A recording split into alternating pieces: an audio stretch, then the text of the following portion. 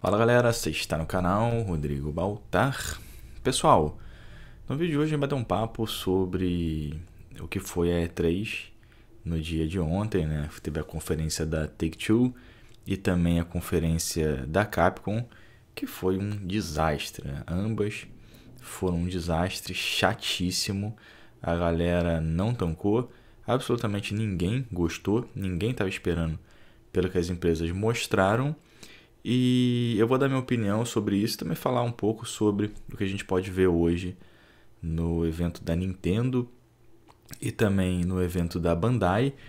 E na quinta-feira, parece que a Microsoft anunciou também um evento junto com a Ninja Theory para poder falar um pouco do Senua Sacrifice, o que é bem interessante. Então se inscreve no canal se você não é inscrito, dá uma olhada nos nossos patrocinadores nos links da descrição. Me segue lá no Twitter, Baltar, para acompanhar as sagas do canal. E se você for comprar algo, for comprar um console de nova geração, por exemplo, o Xbox Series S está em estoque com o preço oficial lá na Amazon Brasil. Comprando o link, você vai estar ajudando o canal. Vamos lá para o vídeo. Então vamos lá, pessoal. O vídeo é um bate-papo, talvez ele fique um pouco longo.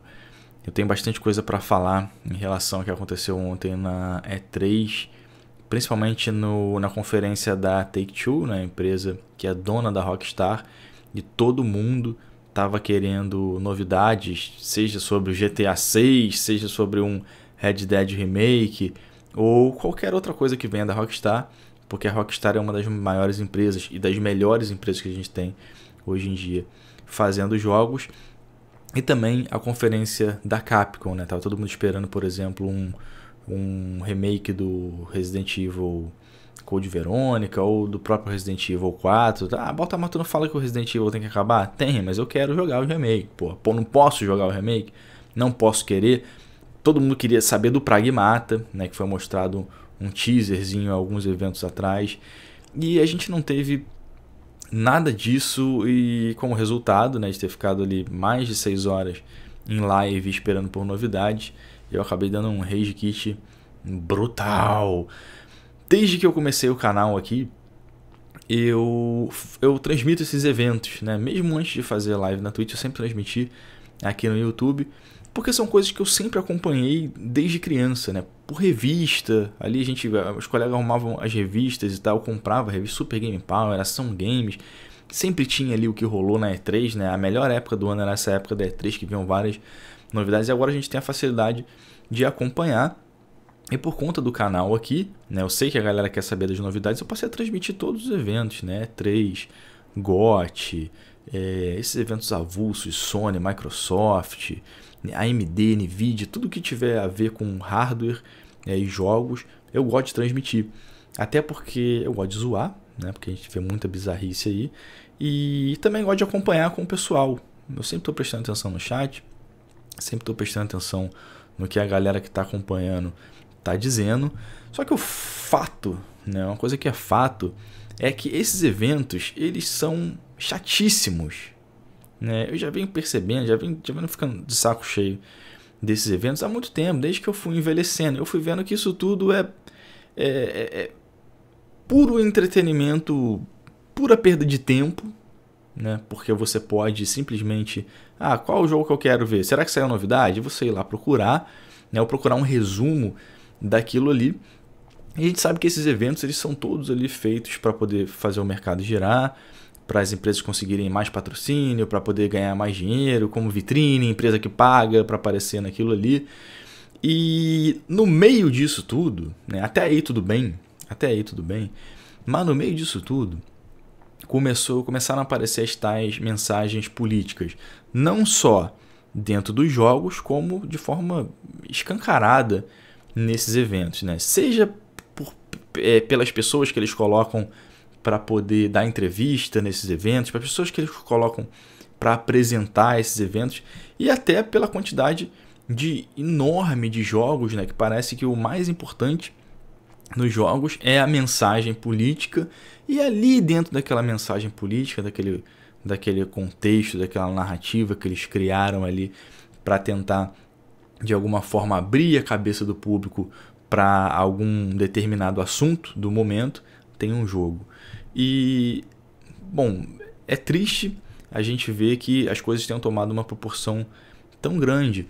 É, o pessoal pode falar assim, pô, Balta, mas isso aí é besteira, né, que você está falando, porque é, eu, tô, eu tô falando mais da, da o que aconteceu no evento da Take-Two, que é a Take-Two, a dona da Rockstar, tava todo mundo esperando novidades sobre os jogos, os caras decidiram dar uma palestra de diversidade. Avisaram lá, não, não vai ter jogo não, a gente vai dar uma palestra de diversidade no mundo dos jogos, porque, é, não sei, ou porque a gente não tem nada para mostrar, eles podiam ter sido mais honestos, ou, ou ficar fora da parada, né? não fazer ninguém perder tempo, nem criar expectativa, esperando por jogos e chegar lá os caras vão dar uma palestra de diversidade para quem quer ver jogos, do que enfiar aquilo ali, né? O que os caras fizeram foi, ó, antes do negócio ali não vai ter jogo.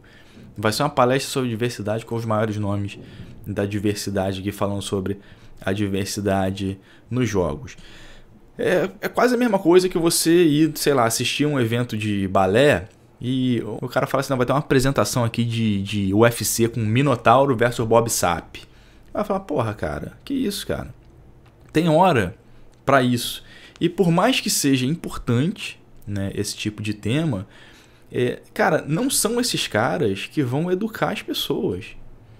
Né? Eu sei que a comunidade game é cheia de demônio sanguinolento aí solto na internet, cara, odioso, odeia todo mundo. Entra aí no, no, no Instagram das personagens, das mulheres, fala um monte de merda, fala um monte de besteira.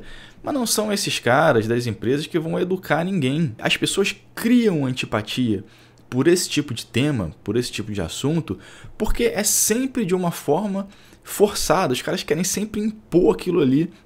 Ó, vocês vieram aqui para ver o, o o, o GTA 6. Então segura essa, essa, surpresa aí, vocês vão ver uma parte de diversidade. o chat da, da E3 oficial só ficou a gente mandando aquele emoticon do, do Alan Zoca dormindo, né? E aquele do DK rindo lá. É só aquilo ali. Ninguém tava gostando daquilo ali. Ninguém tava gostando do falatório. E só cria ainda mais antipatia é, com as pessoas que já estão de saco cheio desse tipo de diversidade dentro dos jogos que, que mais parece, eu odeio essa palavra, mas mais parece lacração do que diversidade propriamente dita, né? Porque é sempre uns personagens é, carnavalesco, né? Uns personagens estranhos, uma mulher super empoderada, uma mulher super forte que bate nos caras, bate no demônio, não tem medo de porra nenhuma.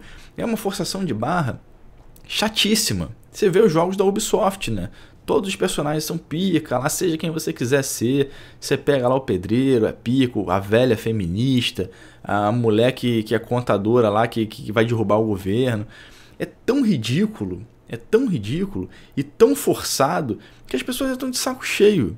Estão de saco cheio. Então, quando os caras vêm com um tema que a princípio é sério, só que o mercado já está saturado, as pessoas já estão de saco cheio, a reação das pessoas é: porra, cara, não quero ver essa merda agora, me dá a porra do GTA 6. Tô de saco cheio dessa porra. Os jogos da Ubisoft, os caras só não lançam o Splinter Cell porque não tem como tu botar uma personagem fe feminista, ultra carnavalesca, drag queen ali no Splinter Cell. Então acabou o Splinter Cell. O Rayman não dá, porque se eles forem lançar o Rayman, vão ter que falar que o sexo do Rayman é indefinido né? E não dá para saber se o sexo do Rayman é indefinido, igual quando o nego fez aquela porra dos Minions, o nego ficava falando qual era o sexo do Minion. Caralho, a mente das pessoas é tão pervertida, os caras querem saber qual é o sexo do Minion. Eu nunca pensei nessa porra na minha vida. Mas parece que tem que falar, não, o sexo do Minion, o Kratos era gay, essas babaquice toda que tem aí, né? E geralmente, quando os caras colocam isso dentro dos, dos jogos, fica forçada porque os jogos são, são extremamente simples, com histórias simples, com histórias bobas. E quando o personagem tem um background, como é o caso que acontece lá no The Last of Us, por exemplo, a galera tá puta. A galera já tá de saco cheio, né? Então a Ellie beijou a menininha. Porra, não, lacrador, caralho. Pô, mas o personagem, é, o personagem tem uma profundidade gigantesca que vem do outro jogo. Tem todo um contexto por trás. É uma porra de um adolescente. Deixa a porra da menina beijar a porra da outra menina, cara. Melhor que você que não beija ninguém. Então, o jogo tem uma profundidade, só que as pessoas estão de saco cheio. As pessoas estão de saco cheio. Só que aí dentro do The Last of Us. Ah, porra, a Ellie, pô, beleza. A Abby, porra, a mulher ela tava puta, o caralho que aconteceu, malhou pra caralho, perdeu. Tem também uma profundidade do caralho personagem. Aí no meio da história, né, aparece mais um personagem lá, que é o Levi. Né, que eu tava, tava ajudando o molequinho ali, não percebi se o moleque era homem ou era mulher, um moleque careca, me parecia um homem, eu acho. Só que depois chega no meio da, do jogo, é uma história completamente bizarra e tudo bem, pode ser um spoiler escroto. Se você não jogou The Last of Us, pula essa parte. O leve é, existe uma, uma, uma seita religiosa né, na, no jogo, né, que seriam. Não sei se, se estão falando dos cristãos, mas, mas é, é uma seita religiosa, né, simbolizando pessoas que são é, cegas em relação à religião, que tudo que não é da religião deles é o, é o demônio sanguinolento, como dizem alguns youtubers. Então tem lá a seita religiosa e a mulher tinha dois filhos, tinha duas filhas, um filho e uma filha, uma porra dessa, uma filha, um filho, não lembro, acho que era du duas filhas. Né? E uma era o Leve. E o Leve não se sentia é, mulher, né? se sentia um homem, sei lá. Então ele raspou a cabeça igual os homens lá da seita religiosa. E quando ele ia falar para a mãe dele que ele era não se sentia um homem, né? Se sentia, não se sentia uma mulher, se sentia um homem. A mulher tentou matar ele, a própria mãe tentou matar o filho e o filho foi lá e matou a mãe. Isso que teve dentro do, do, do The Last of Us Parte 2. Pode ser que exista uma história assim? Porra, pode, né, cara? O mundo, um lugar mais bizarro do que o mundo, não existe. Mas, porra, qual seria a probabilidade daquilo ali acontecer justo naquele, naquele contexto do jogo? Então ficou forçado. Ficou forçado. Foi escroto. Aquilo ali foi escroto né, não tinha por que os caras colocarem aquele tema ali, principalmente de uma forma tão, tão grosseira. De uma forma tão grosseira, né? Porque o cara pode ver assim, não, maluco, a mulher maluca religiosa matou a, a tentou matar a filha. Ah, mas o filho trans é, não, não, não aceitou o que a mãe queria lá para ele, sei lá, e matou a mãe. Então, olha, terrível, terrível. Eu não acho que isso tenha estragado o jogo. Mas se você colocar assim, ó, tem uma coisa ruim no The Last of Us, tem essa merda. Eu achei ridículo. Eu achei ridículo isso daí. Então os caras vêm tentando forçar forçar a barra todos os jogos, principalmente dessas empresas é, é, lacradoras aí como a Ubisoft, né, que está mais preocupada em mostrar como a, a empresa é, é, é, é diversificar, como existe diversificação dentro da empresa, aceitam todas as culturas, todas as religiões, aceitam todos os sexos, seja o não binário ou, ou o octal, aceita a porra toda. Né? Eles estão mais preocupados em mostrar como eles são uma empresa diferente do que os jogos em si. Porque os jogos da Ubisoft, filho, pelo amor de Deus. Né? Você vai, não tem mais um personagem, você pode escolher se o personagem é homem ou mulher. Você se sente como você quiser ser. Eles, eles colocam na mão da, da, da, da pessoa para a pessoa não se sentir ofendida. Né? Então, se, se, se existe uma pessoa, é, sei lá, trans ou uma pessoa que é gay, uma pessoa lésbica, o cara vai lá jogar, não, não vou me sentir ofendido aqui porque eu posso ser quem o Eivor, quem eu quiser que o Eivor seja. Porra, pelo amor de Deus, cara, você não consegue aceitar que existe um personagem diferente de você, uma pessoa diferente de você. Ah, caralho, eu sou trans, eu sou gay, eu sou lésbica, sei lá. Mas foda-se, o Eivor não é. O Eivor é um personagem, o, o Ezio é um personagem. Você não consegue jogar, não consegue aceitar isso. Né? Quando for um RPG ali que você pode criar teu personagem, você cria o personagem do jeito que você quiser.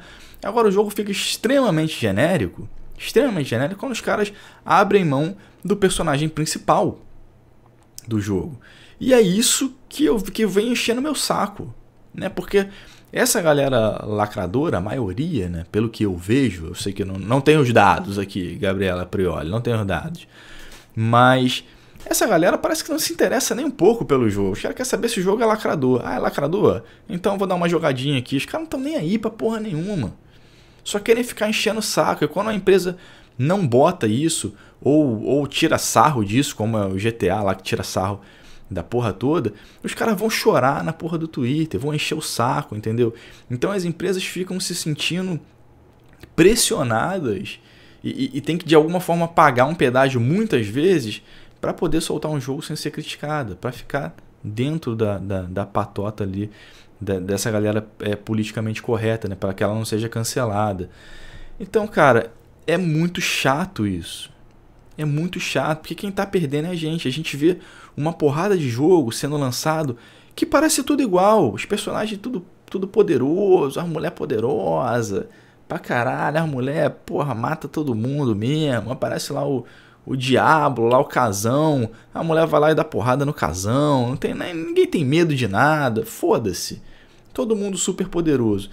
E é, tudo colorido, né? Tudo máximo de, de cor possível para mostrar bastante a, a, diversidade.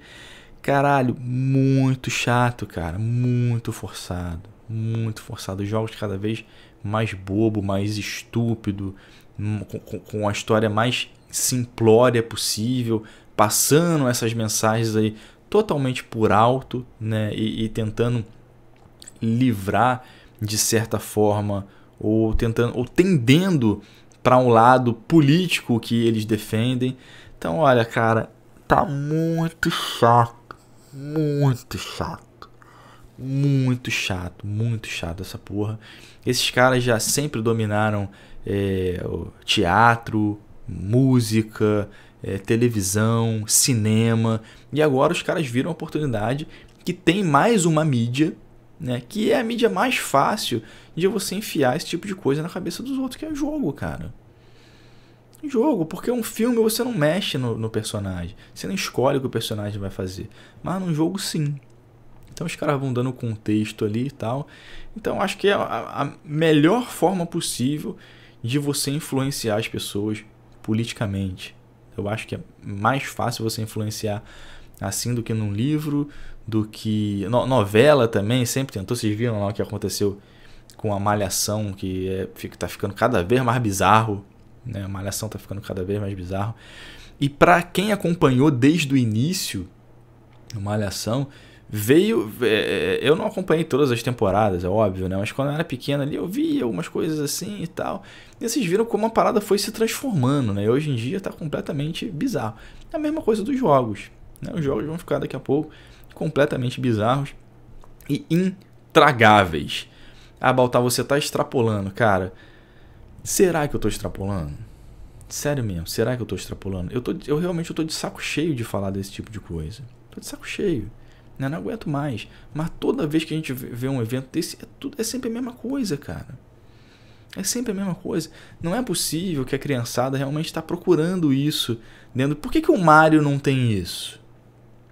Por que, que o Mario não muda? Por que alguns jogos clássicos não, não, não se rendem a esse tipo de coisa? Existe realmente um movimento, existe realmente uma agenda que quer dominar, que quer passar uma mensagem política dentro dos jogos? Cara, eu não tenho nenhum embasamento. É, é, é nenhum embasamento para falar sobre esse tipo de coisa. Eu falo do que eu vejo. Né? Tem um canal lá do, do Lucas Honorato, né? um canal que eu, que eu descobri há pouco tempo, Honor Lusca, se eu não me engano, no canal que, cara, o cara fala de coisas assim absurdas. O cara conhece o nome dos caras, sabe quem é os caras que desenvolve, caralho. Esse maluco sabe tudo de games, tá ligado? E ele fala muito sobre isso, você fica, você fica abismado assim, caralho, será que essa porra realmente é verdade, cara? Será que os caras estão é, é, mais preocupados realmente em passar é, mensagem política do que com jogos? Bom, é isso que a gente tem visto em todos os eventos. E é isso que a Take-Two trouxe pra gente ontem, né? Ninguém prestou atenção, por mais que fosse um tema seríssimo, fosse um tema seríssimo, por mais que os caras estivessem até fazendo uma crítica a esse tipo de coisa dentro do, do mundo dos jogos, ninguém quis ver, porque tá todo mundo de saco cheio, principalmente da forma com que essas pessoas é, tentam empurrar isso. Então, pessoal, foi isso que a gente viu no evento da, da E3 ontem, chatíssimo. Depois, depois teve a Capcom. Todo mundo estava esperando novidade da Capcom. A Capcom não tinha nada para mostrar. A Capcom simplesmente mostrou algumas é, DLCs ali pro, pro, Monster Hunter, que é um jogo que eu não curto, não entendo esses jogos online, não, não consigo gostar daquilo ali. Sei que tem muita gente que gosta, mas eu não gosto.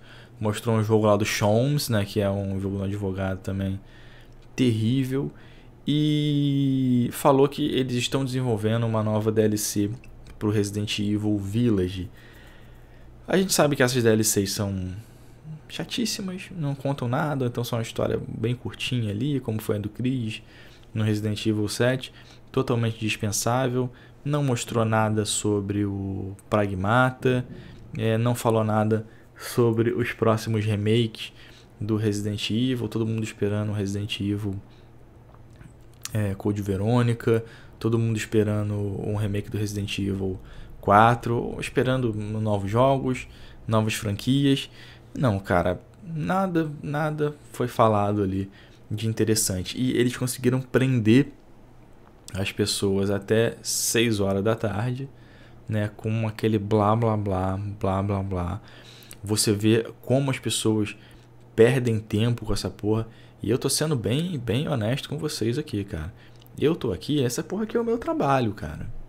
Né? Hoje em dia, o YouTube e a Twitch é o meu trabalho.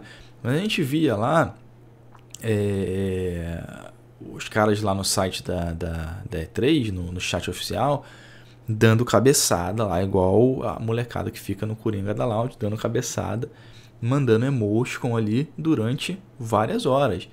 A gente ficou trocando ideia. A minha vida tá tá tô fazendo. Tô fazendo. Mas você que ficou acompanhando ali no, no chat, né? Tá tudo ok? Ah, tô, bom, tô aqui trabalhando, tô ouvindo Baltar aqui, o caralho. Beleza, mas eu, o que eu recomendo pra galera é sempre faça o seu dever de casa, né? Fique o máximo é, alheio possível, principalmente de questões que você não tem nenhum poder, de coisas que você não vai mudar. É, respeite as pessoas em relação à diversidade, seja o cara gay, bi, trans, é, octal, hexadecimal, qualquer coisa. Respeite as pessoas, entendeu? E não fique dando atenção para babaquice, né? São, são é, o que a gente vê geralmente nessas pessoas que falam de preconceito, que falam que é, que tem que dar espaço e tal para diversidade, porque o mundo é preconceituoso. Geralmente são eles falando deles mesmos, né? Eles são os verdadeiros é, preconceituosos. A gente sabe que é assim. E o que eu recomendo é que você só, só respeite as pessoas e largue toda essa merda pra lá, entendeu? Porque você não vai mudar isso, você não vai mudar o mundo, isso não vai mudar a tua vida e é isso aí. Hoje a gente vai ter a conferência da Nintendo, com certeza quase que absoluta, não vai ter esse tipo de coisa. E também a gente vai ter a conferência da Bandai, provavelmente não vai ter esse tipo de coisa. E na quinta-feira a gente vai ter aí parece parece uma conferência da Microsoft com a Ninja Theory, que eu acho que já nem faz mais parte da E3, né, uma coisa separada, ou seja, não vai ter aquele aquele é, aquele cara chato pra caramba lá, aquele Igor 3K lá da, da E3, não vai ter o Damiani lá, não vai ter aquela mulher chata.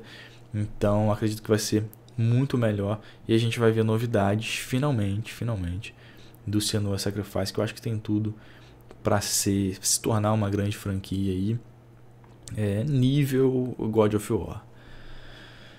Pessoal, é isso aí. Eu acho que eu devo ter falado muita besteira aqui. Ninguém precisa concordar com absolutamente nada. É, você pode dar a sua opinião abaixo aí. E eu gostaria que você falasse, caralho, eu tô sendo injusto com essas coisas que eu tô falando? Ou vocês estão vendo igual a mim? Coloca aí nos comentários. Me segue lá na Twitch, arroba loucobaltar. Patrocinadores nos links da descrição.